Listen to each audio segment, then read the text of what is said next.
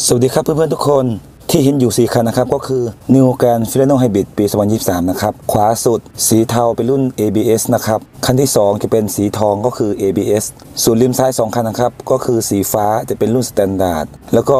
ซ้ายสุดจะเป็นสีเทาเหมือนกันนะเป็นรุ่น standard นะครับ ราคาที่นี่นะครับ ราคาหน้าร้านจะอยู่ที่ 78,500 บาทนะครับซึ่งแพงกว่าโฉม 2022 อยู่ประมาณ 10,000 บาทนะครับ